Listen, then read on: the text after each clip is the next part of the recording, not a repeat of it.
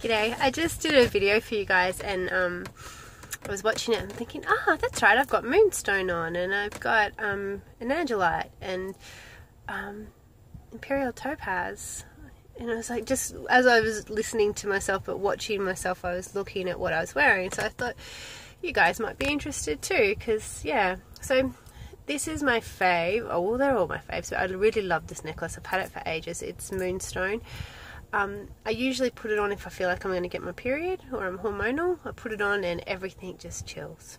Um, really tangible physical evidence of the fact that crystals work for me.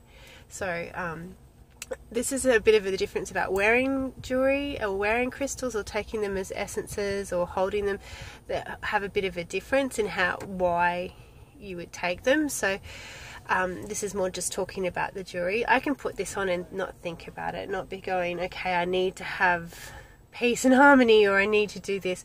Um, about two days ago, this was sitting in my jewelry um, bowl on top of my um, bathroom cabinet and just looked at it and it was shiny and it was pretty and I just went, mm, I'm having that and I put it on and I have not thought about it since.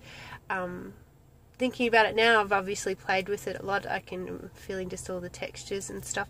But so this will help my body and me be in this amazing place of vibration over a longer period of time. I don't have to think about holding it. It's not a, in my head. It's just constantly there. It's helping me regulate this amazing vehicle of mine over, I don't know, when I get sick of it, I'll take it off. Um, so usually, I usually have it on for about a week. I don't do it every single um, period, and other times I will put it on.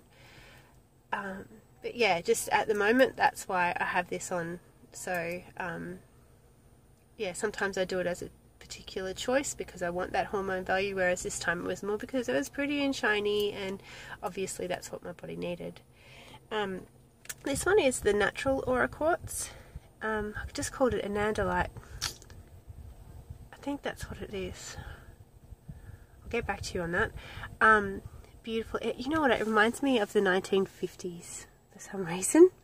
This crystal. Uh, it's not clear quartz. It's so amazing. I might even just do a whole thing on it.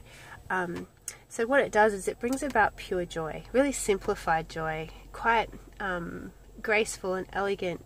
That kind of energy is how I feel it is. It's um, yeah, and I've had this on now for probably the last couple of months. It just feels really right. I don't, every time I go to take it off, I don't want to take it off.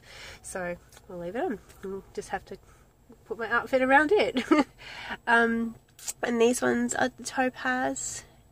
So again, I don't, these aren't necessarily my favourite earrings. I don't, like at the moment, I really like them and I'm stoked I've got them on.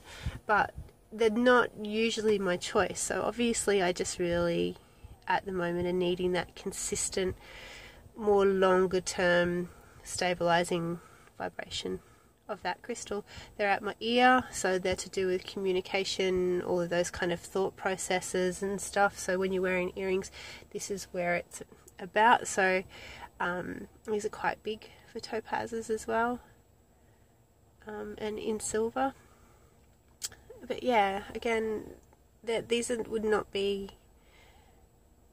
a choice I make a lot, but at the moment they just feel like they work. So, um, yeah, if my advice with choosing what crystals to wear, um, if you put it on and you don't want to wear it, even if it looks bloody fantastic, take it off.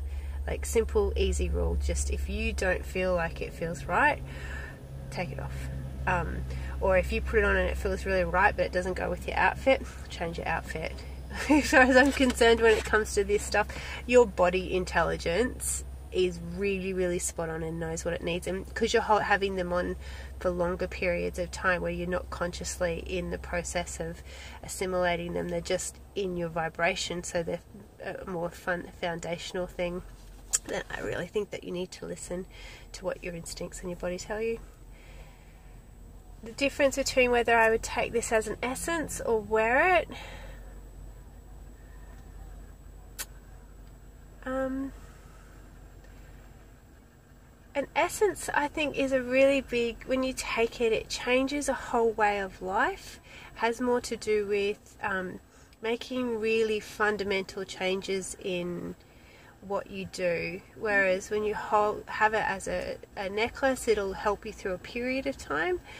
Um, if you just have it as where you're holding the crystal and you meditate it, it it also helps you for a period of time, but it's just a shorter period of time and it can be more concentrated. Um, how to explain that better? I'm not sure. I just recommend that you try it. Um, yeah, but there's crystals I really find hard to wear, like lapis. I just find it hard to wear. I'm not really attracted to it. I've got some beautiful pieces, but I pick them up occasionally and pat them, um, and they're there for a reason, but it's very seldom I wear them.